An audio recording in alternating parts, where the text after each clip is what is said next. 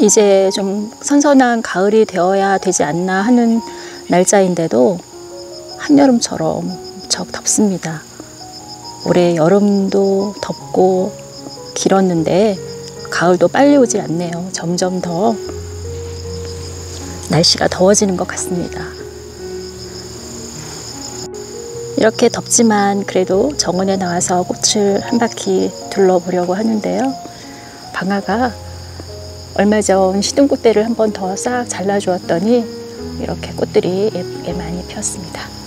은은한 야생화이면서 우리나라 허브라고 볼 수 있는 방아인데요. 배초향이라고도 불리고 요즘 꽃이 이렇게 예쁩니다.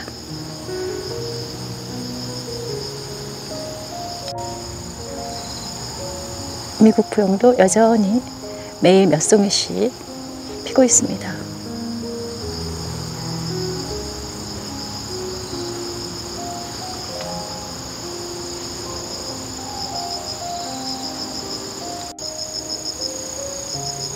분홍초파 꽃이 여기저기 피기 시작합니다.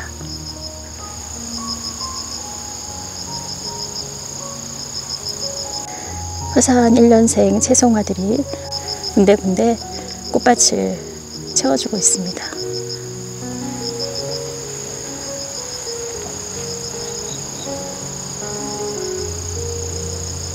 오전이라 자금성은 아직 피지 않았고요. 3시 정도부터 활짝 피기 시작하는 꽃이죠. 1년생 꽃이지만 꽃이 오래 많이 피는 백일홍들은 요즘 아마 꽃밭에서 한창일 겁니다. 저희 정원도 그런데요. 여러 가지 색을 심어 놓아서 이제 꽃들이 예쁘게 피고 있습니다. 여기서 씨가 떨어져서 내년에 또 자연발화를 기대하면서 여러 가지 백일홍들을 심어 놓았는데요. 봄에는 알리움들이 꽃을 피우고 그 이후에 백일홍이 필 수 있게 한번 심어 보았습니다.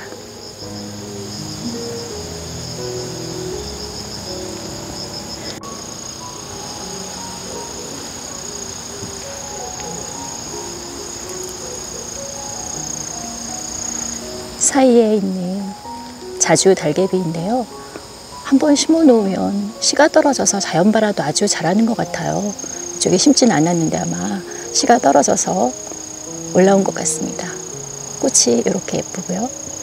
얼마 전 백양 상사화가 피었다가 이렇게 시들었는데 올해는 상사화 꽃을 좀 많이 볼 수 있을 것 같아요. 이렇게 또 한 대가 올라왔습니다.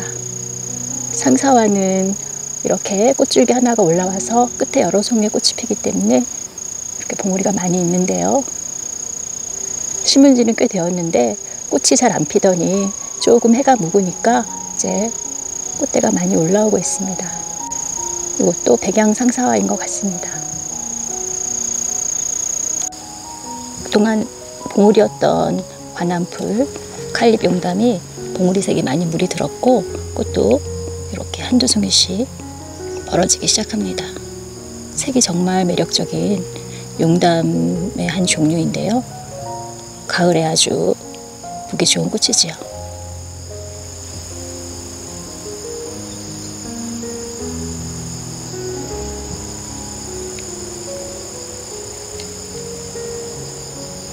잎의 무늬가 예뻐서 잎을 보는 무늬 맹문동이지만 이맘때 보라색의 꽃도 아주 예쁘게 피어서 장관입니다.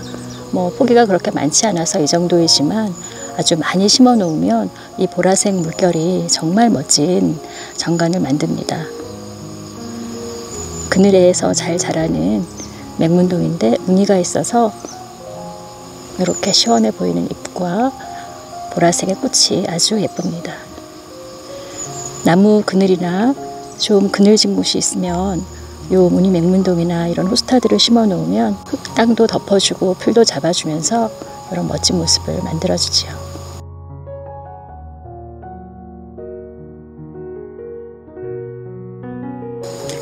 강하게 자라는 1년생 화초인 봉선화들이 자연발화해서 여기저기 많이 피어 있는데요.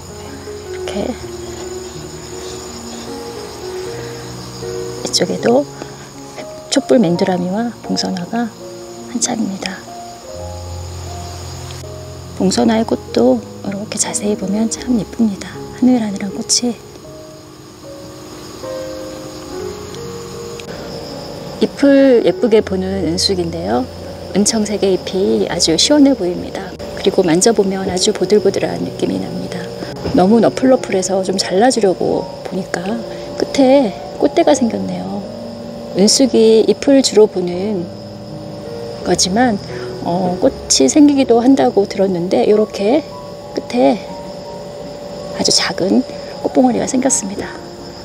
그래서 자르지 않고 꽃이 어떻게 피는지 한번 보려고 합니다.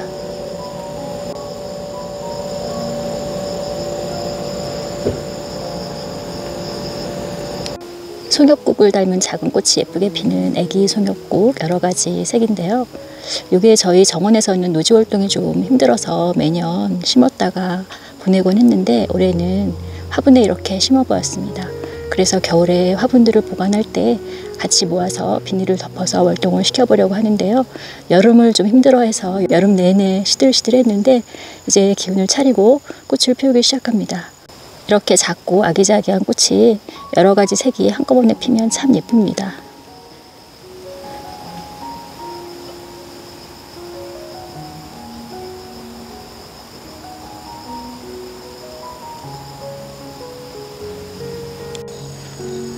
이 루엘리아는 저희 정원에는 분홍색과 보라색이 있고 그리고 요건 실내 활동을 해야 하는 꽃이지만 또 노지 활동이 가능한 루엘리아 후밀리스라고 하는 품종을 키우고 있습니다. 이 루엘리아 꽃은 제가 안지는 꽤 됐는데 노지 활동이 되지 않아서 심지 않고 있던 꽃이었는데요. 제가 가능하면 정원에 노지 활동이 돼서 매년 심지 않아도 되는 꽃들 을 위주로 심고 있어서 심지 않고 있다가 너무 예쁘고 또 오랫동안 피어 있어서 올해 이렇게 정원에서 꽃을 보게 되었는데요. 이 루엘리아는 제가 올해 이렇게 꽃이 피는 걸 보니까 지금도 많이 피어 있지만 꽃이 계속 매일매일 새로운 꽃들이 많이 피어나서 굉장히 오랫동안 꽃을 볼 수가 있으면서 또 이렇게 꽃봉오리가 한꺼번에 많이 올라와서 꽃 한 송이는 하루만 피어 있지만 매일 이렇게 예쁜 모습을 보여줍니다. 그래서 노지 활동이 되지 않아서 정원에서 키우지 않기엔 너무 아쉬운 꽃인 것 같아요. 그래서 어, 저도 좀 망설였던 꽃이긴 하지만 어, 그런 점 때문에 망설이셨다면 내년에는 한번 꼭 키워보시라고 적극적으로 추천을 해드리고 싶은 꽃입니다. 뭐 키우기도 너무 수월하고 뭐 추위 약한 그런 점만 빼면 이렇게 꽃도 많이 피고 색도 은은한 색이 아주 예쁩니다. 주로 보라색 루엘리아가 많이 있는데요. 또 이렇게 분홍색으로 피는 루엘리아도 있어서 저는 두 가지를 같이 심어 놓았는데 정말 심기를 잘했다 생각되는 꽃입니다. 그래서 올해도 가을에 요 밑에 보면 어, 또 이렇게 작은 싹들이 많이 올라와 있어서 작은 싹 하나를 어, 물꽂이를 하면 또 뿌리도 잘 나오더라고요. 그렇게 물꽂이를 해서 겨울 동안 보관을 했다가 내년에 또 정원에 심을 생각입니다. 요것도 작년에 겨울 보관을 했다가 정원에 심은 건데요. 생각 이상으로 꽃이 너무 예쁘고 꽃이 많이 피고 또 끊임없이 꽃이 핍니다. 가을까지 피는 꽃이라고 해요. 그래서 저처럼 노지 활동이 안 돼서 좀 망설이셨다면 내년에는 꼭 한번 심어 보시기 바랍니다. 정말 예쁜 꽃입니다.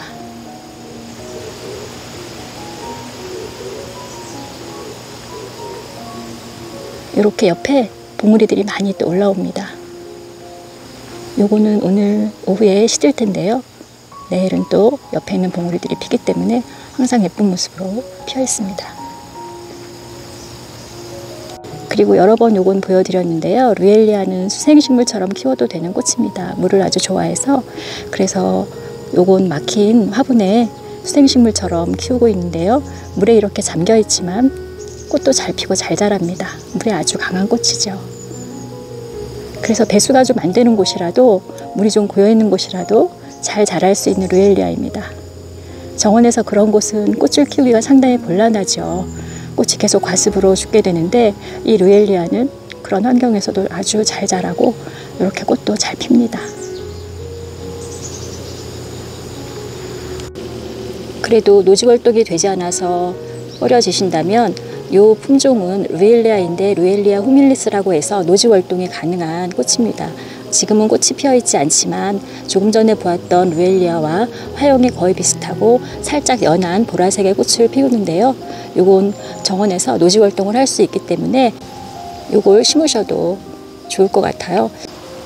노지 활동이 되지 않는 꽃과 조금 분위기는 다르지만 그래도 노지 활동이 된다는 장점이 있어서 실내 보관하는 게 좀 번거로우시면 이런 꽃도 괜찮을 것 같습니다.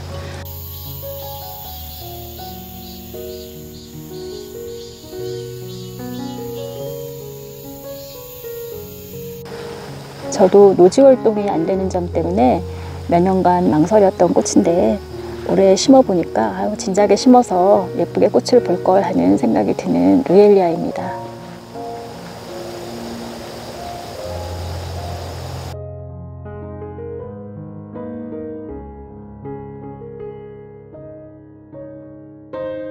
아직은 덥지만 그래도 바람이 불면 선선한 가을 날씨로 접어드니까 꽃들이 여기저기 예쁘게 피고 있습니다.